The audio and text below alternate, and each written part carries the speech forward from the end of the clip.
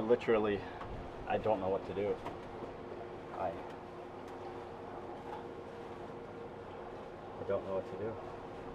Mm. These are the things that make me.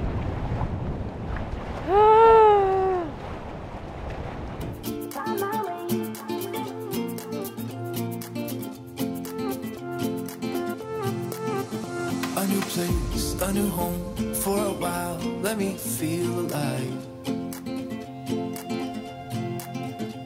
Nothing to hold me back. Take my time, just enjoy the ride. A new man passing by. Life is good, best I've ever felt.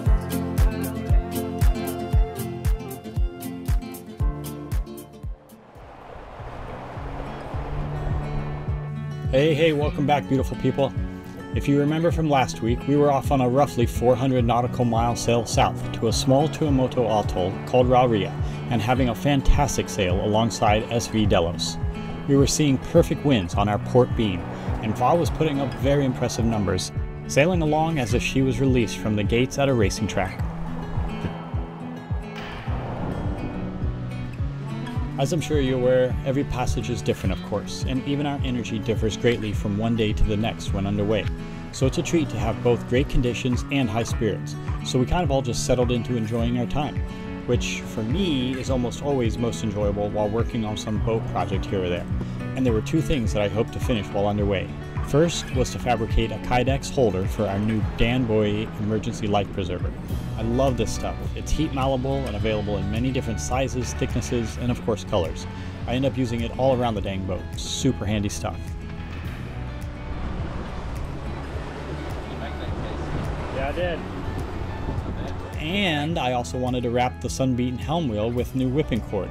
The leather cover that Va came with has been baked in the sun over the last six years and was only holding on by threads. So instead of buying a new one for over $300, I bought 300 feet of 1 16th inch paracord for $60 and spent the next, oh, I don't know, seven or eight hours over three consecutive days wrapping the helm.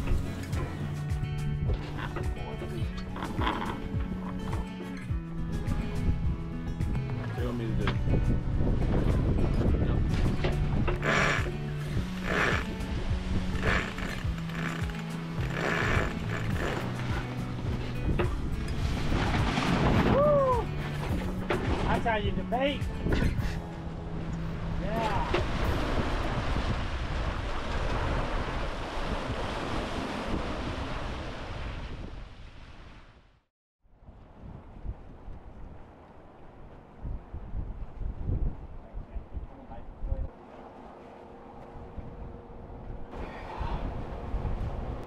I literally, I don't know what to do.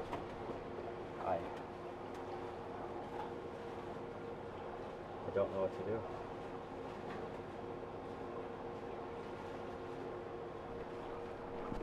This is part of the, the struggles that we continue to face.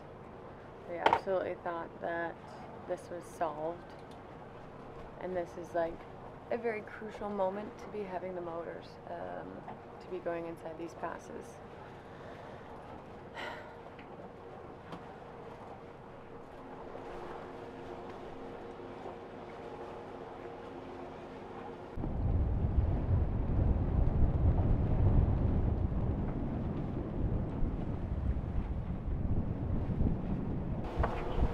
Obviously, it feels like I've checked everything, but I haven't, clearly.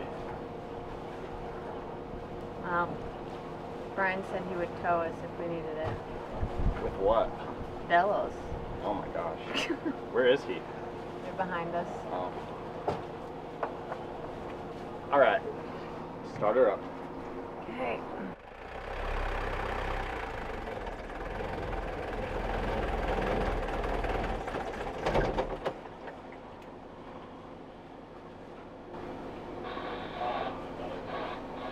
You better go get that. Yeah.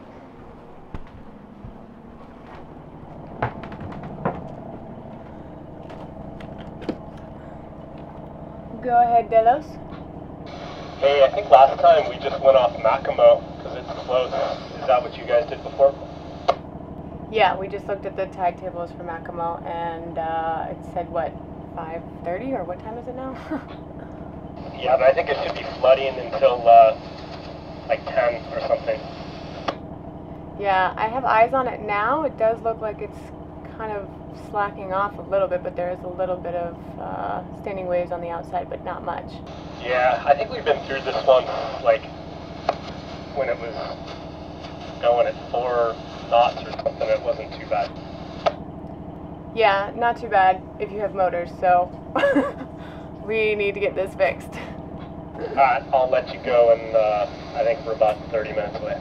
All right, no worries. We'll see you shortly.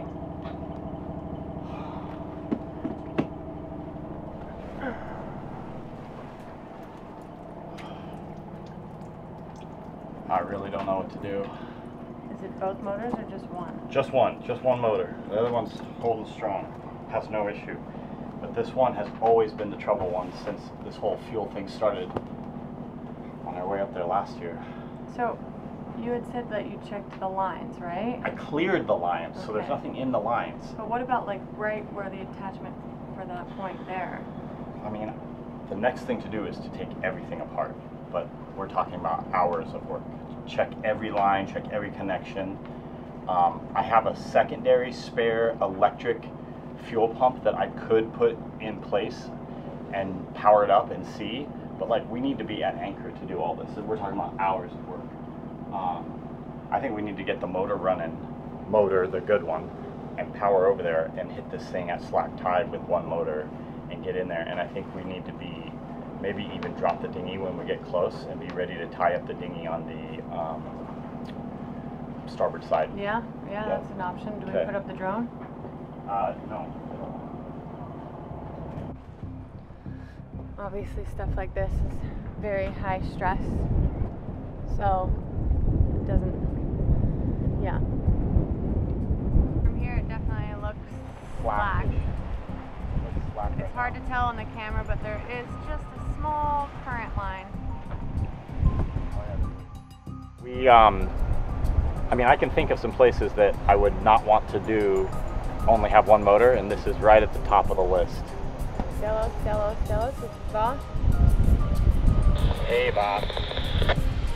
We're gonna pull a monohull move and just use one motor. I like it. Okay. We will be. Are you guys going in now? Yep, it's slack. Yeah, we're approaching. It looks pretty slack to us. Um, so if anything happens, will you just kind of push us through? Alrighty, we'll be right behind you. And then we're Okay, thank you. And then we're heading to the north end, right? Yeah, exactly. But I was thinking a little bit south of the where the yacht club deal is. Okay, copy that. Sounds good. We'll just kind of wait once we get inside, though. Yep. Okay, sounds good. See you soon. Mm. These are the things that make me.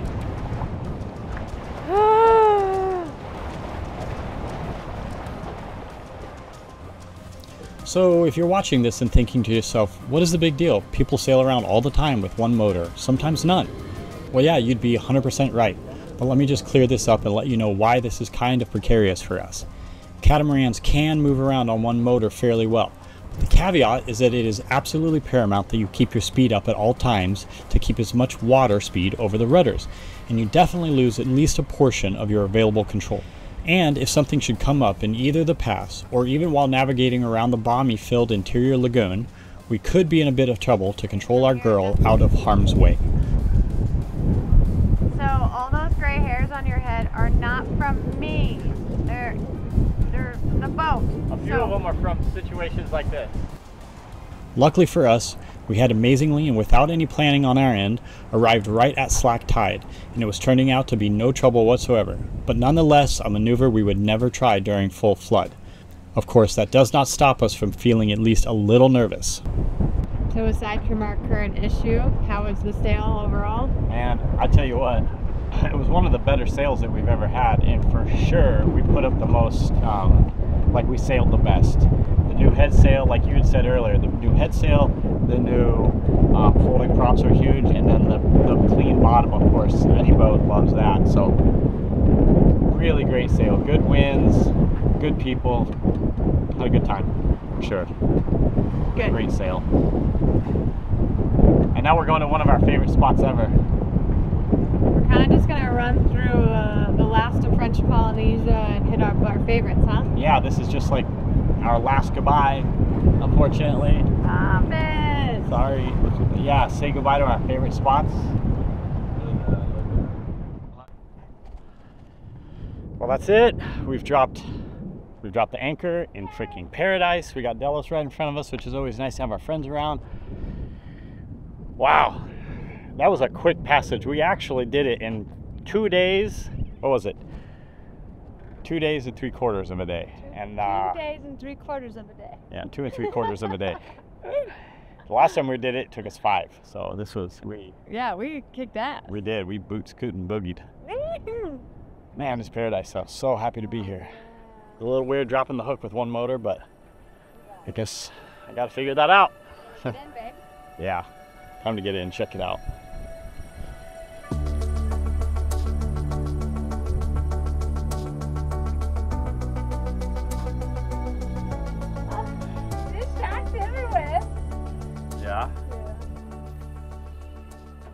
Baby, no.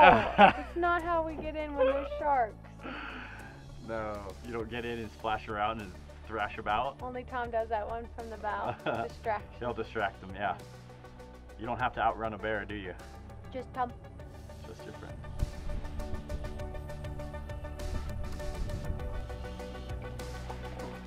All right, go check the anchor. Okay. Make sure we're good. Say hi to the shark friends for me. Oh, oh it's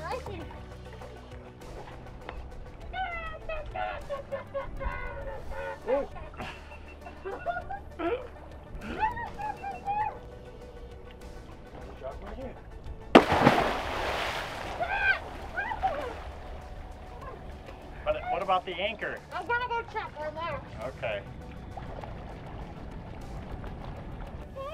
It's good? All right. Oh, you guys, you guys, you guys. Here we go. Passage drink. We did it. We did it. One of the best Actually- passages ever. Yeah. We nailed it. Nailed, Nailed it. it. Really, really lovely. Oh, We're a good team. so happy to be here. Cheers.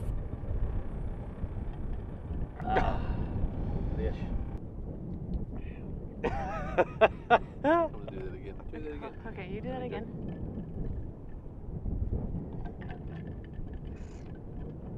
Okay, Much now- better. All right. Now, let me see Warren. it. no pressure, babe. I can't do it. Yeah, you can. Come on, be real. I can't lose the smile.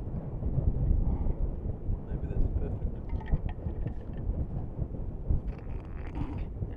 Nope. Okay, watch mine. Are you ready? Show me.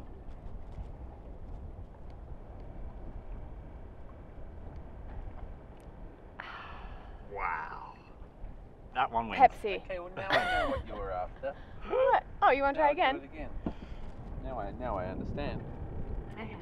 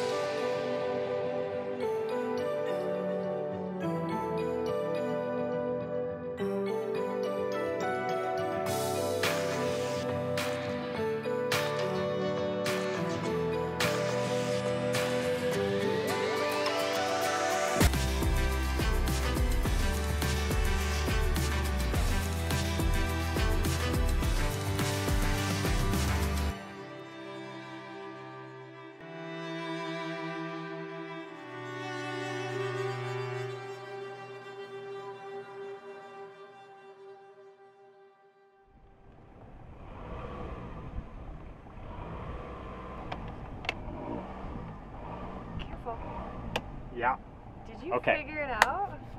I'm sorry I did a really poor job of filming this because I hate when I have absolutely no idea. I mean, literally, it could take hours and just like, you know, taking off this, checking this line, whatever. What I decided to do was the first things first, I do have a spare brand new fuel pump that I put in place.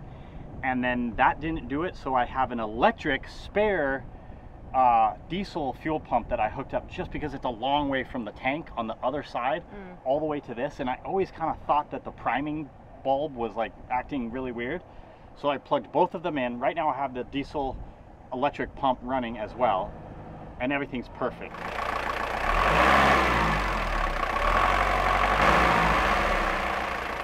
It's running exactly as it should. So I think what I'll do next is take out the electric one now that I know I have fresh fuel, no air gaps, you know, all that, all the way to that motor, and uh, take that out and make sure that it's still running right, but it should. This is great. Yes. So happy. What a relief. What a freaking relief. Yeah. So yeah, that's it. Nicely done. Thank you very much. Now, It's hard to work in paradise it like this, man. so hard to work in this paradise. But I don't have any more work to do. The motor's running. You know that's a lie. I have so much work to do. I know you have so much work, but may we Wow. celebrate? Yeah. What do you have in mind? I was kind of thinking we have a bonfire tonight. Oh man, that's a great idea. Look at this beach. Get Delos and whoever else we can and get a bonfire going. It is Yeah. Tekken, Tekken second, not Tom's second last night. Tom's second last night. The excitement I can absolutely tell when Warren uh, gets too excited. His words don't exactly come out. No, my brain goes faster than my mouth. Oh, baby, I'm so proud. I'm so Thank you. happy and Thank thankful very that much. you've figured it out. Yeah. Yeah. Yeah. How special is this, huh? Oh, I'm so happy we're back here. I know! Just like everything about it. Seriously, I just yay! Yay! I feel so happy right craving now. this for such a long time. Look at these sharks! Wow, look at them! There's a baby. Oh my gosh, Big one. so cool. Oh, jeez.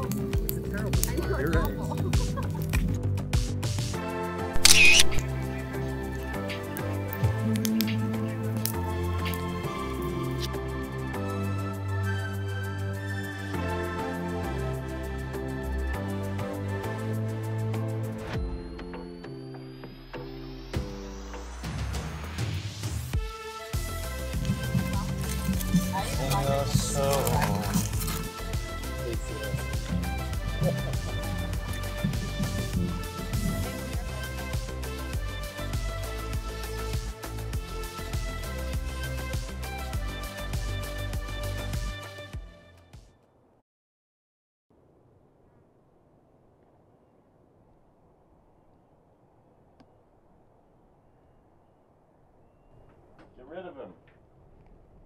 He's gotta go. No, he's so cute. No, he's gotta go. He's gonna poop. Good morning, babe. So I do this all the time. I start a project and uh, I went right into it. I'm like, geez, I should be recording this because this one's actually kind of cool. We have this, sun- we'll start over here. We have this sunscreen that kind of came with the boat and I put on the sides because it just needed a little bit more. It's okay, but it lets a lot of sun through, man. And these are hot, hot days. So for like a year, I've kind of been dreaming on how I could redo this. And uh, and these kids are having a blast today. kind of a little jealous. Yeah, so I've been thinking how I could actually make this a fabric sunscreen and make it better. And Erica also really loves to be able to see out it, so I kind of want to have it like a two-part thing. So for a while now, I've drawn up this sunscreen and uh, played with different ideas. And what I've decided to go with is these. I have these carbon fiber tubes that I found on Amazon. Actually, I source everything on Amazon nowadays. It seems like. But uh, these are good, solid, you know, carbon fiber tubes. And I have these sweet. I mean, just for through searching, I found these these base plates that are two inch, same as the diameter of the tube, and so the sunscreen will tie to this, and uh, we can make it larger. And again, I said it's going to be two pieces, so it'll be the main permanent piece. It's like kind of a, a brow, and then there'll be like the big screen that you can put down when it's really sunny and uh, or really stormy. Um, and if you notice, there's a wire off at the top here because, I mean, while I'm at it, I was like, well, I, you know, probably should add lights to it. So I've built these pretty sweet lights. I found all this stuff online and most of it on Amazon as well. Um, I actually built my own lights out of uh, acrylic. It's a one inch acrylic piece and I embedded, I kind of, uh, well, drilled it out essentially and I put LEDs in there. I mean, I've, I've made everything. So I had to drill, I had to drill this out for the bolt. I had to drill and tap this one with a hole for the, for the wire. Um, but, and I had this, this, I had this welded on so that I can attach the, uh, the fabric to it. And uh, when all put together, it's going to look like this and it's going to just sit on there and I'll have it turn on every time the uh, mast light goes on which is of course wired to a uh, solar cell. So as the sun dips and it gets dark then it turns on automatically. It's not something we you know have to worry about. But god this this is gonna be really neat. So I, at least I have both of them mounted on both sides and uh, got them glued in today. So I guess the next step is going to be a bunch of sewing you guys, this is gonna be neat. I don't think I've ever seen a boat with anything like this. Not, not a catamaran, not a sailing boat anyways.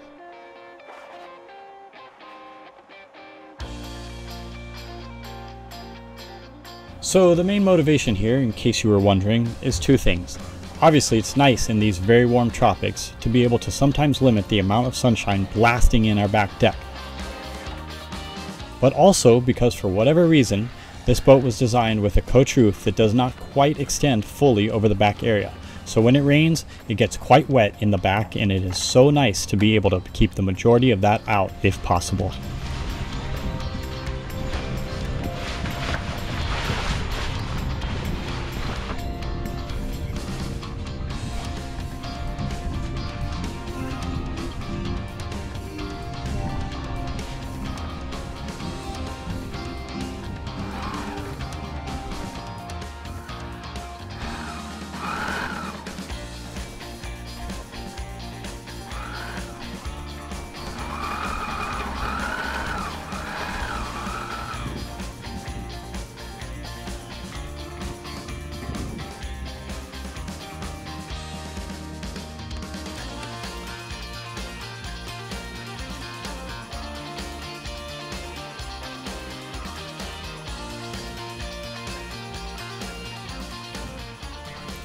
It definitely took a bit of work over several days, but man, we are stoked on this portion of the new rear sunshade. And if you're wondering about the larger second part of this shade that I mentioned, well yeah, sorry, you're just to have to keep following along to see the final portion and the finish of this project in an upcoming video.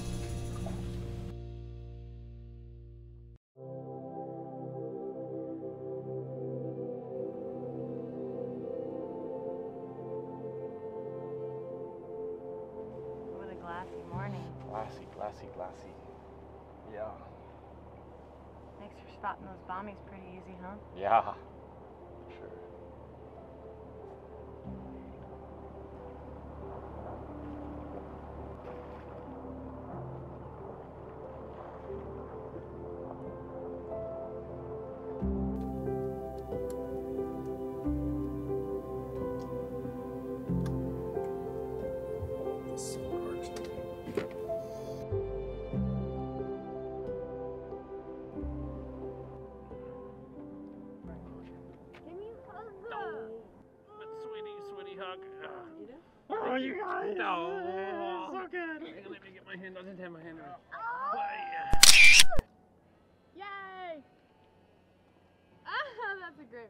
Yeah.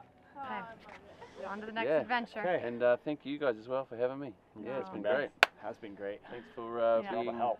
just legends and making Man. me feel comfortable You. at home. You're awesome. If I left anything, just bring it to Greece. Okay.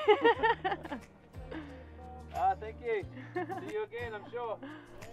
it has honestly been a pleasure having Tom aboard. An unbelievable amount of help, to be quite honest with you. Um, I can't even imagine what the yard would be like if it was just Warren and I and all the work that we had to do. So he is a true legend for just honestly dedicating his time helping us. Um, and so I wish him the best of luck for his next adventures. We'll miss you, Tom. Yeah, we're sailing, baby. Yeah.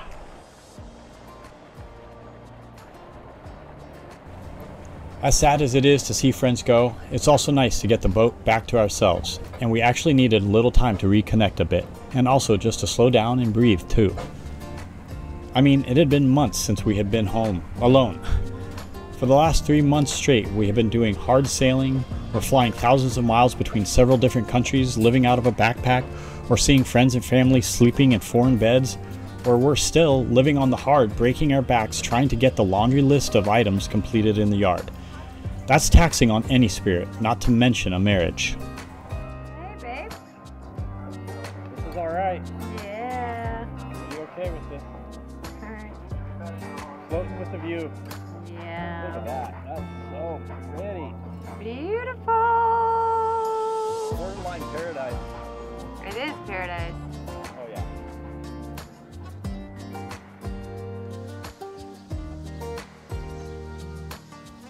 But this was just the spot to do all that, maybe even have a little fun while we're at it. This place has always been one of our favorites, with unspeakable beauty, good holding with minimal bommies to worry about, safely nestled behind the reef from storms and swell, and plenty to explore.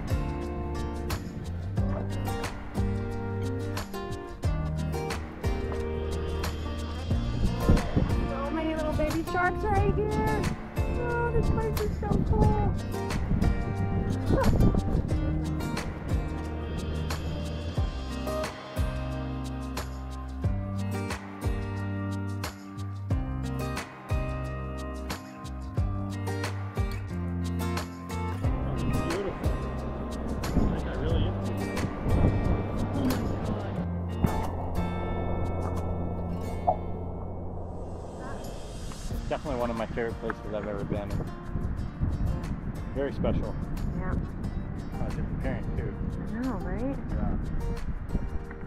Well, guys, if you're uh, some of the few that made it this far, thank you very much for sticking it through the whole video. We really appreciate that. Of course, a very special thank you goes out to all our Patreons. Without you guys, no way this would be going on still. And uh, we just really hope you guys have a really good rest of your week. Thanks for watching. Cheers.